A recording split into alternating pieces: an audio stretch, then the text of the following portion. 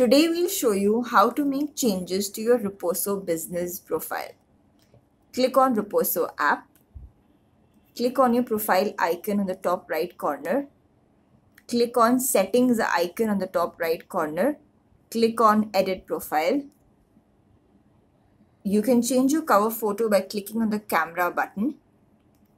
You can change your display picture by clicking on change DP. Scroll below and mark yourself as a business. Now, edit your payment details. You can select your mode of payment and then click on save details. Click on go back to Roposo. Now scroll further below and you can edit your phone number.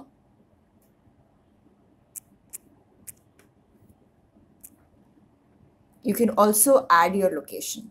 Then click on save.